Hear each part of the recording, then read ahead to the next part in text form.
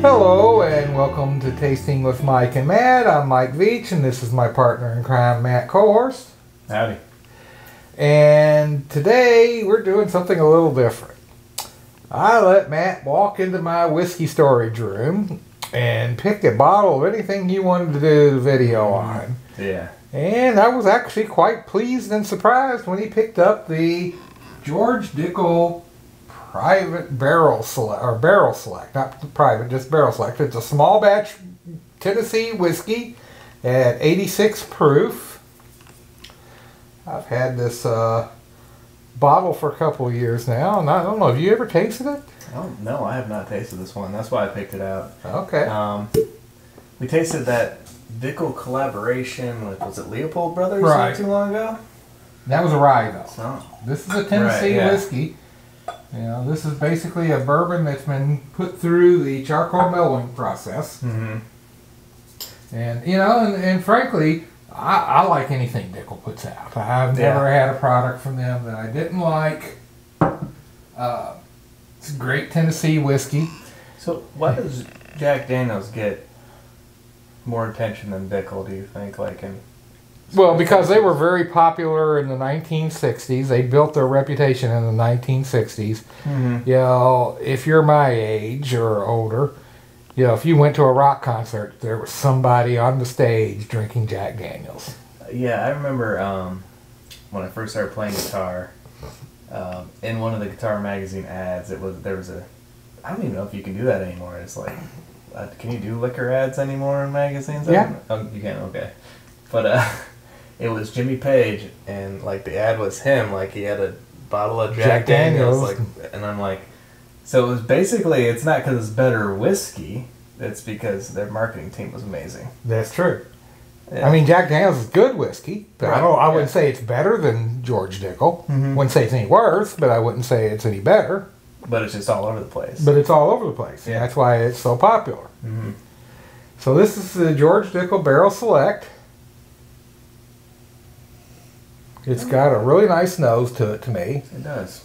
Lots of vanilla. Mm-hmm. You get a little bit of that maple uh, charcoal smokiness. Mm-hmm. A little apple. Maybe a hint of like maybe like white pepper, I was gonna say cinnamon. cinnamon. Yeah. But then you get the you, know, you get that oak, of course. Well, let's taste it and see Mhm. what. It, all right.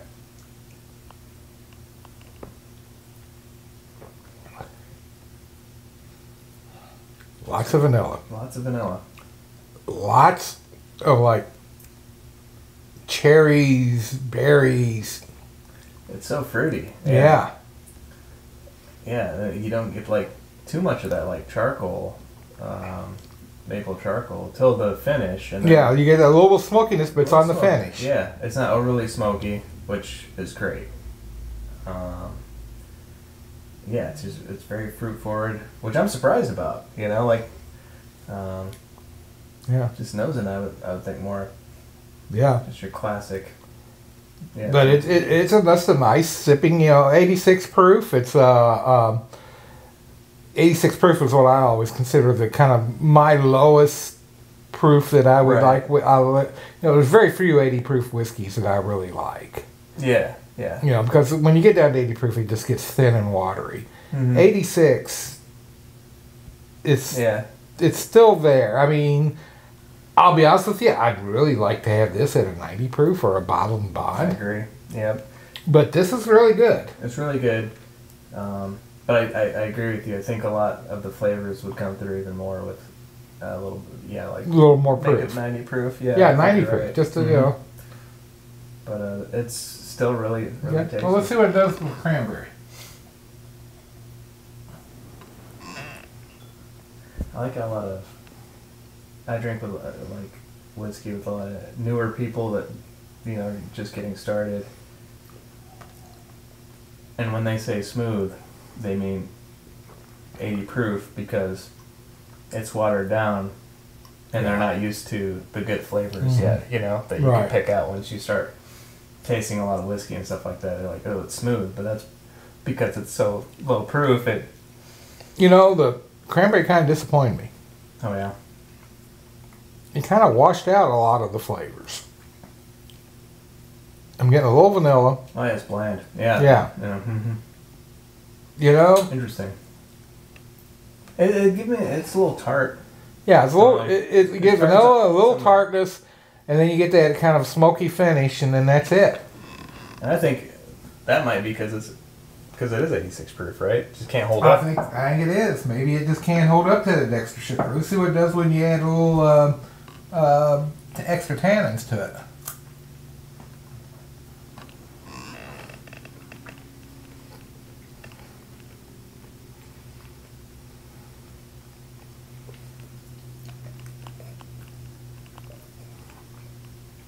That's nice.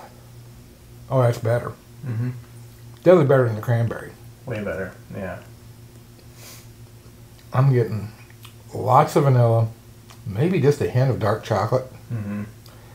Then I'm getting a little bit more of that fruit.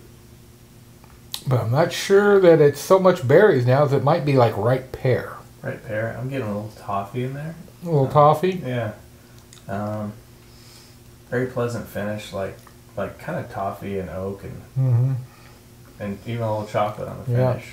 Oh, and the finish is much is much longer, and more more interesting. Mm-hmm. I kind of like this with the pecan. Uh, definitely better than the cranberry.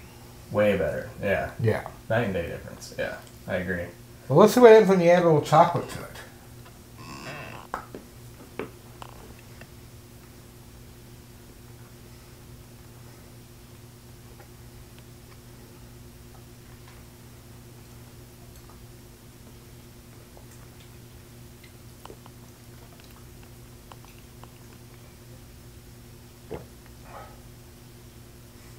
That's actually pretty good. It really brings out the caramel. Mm-hmm.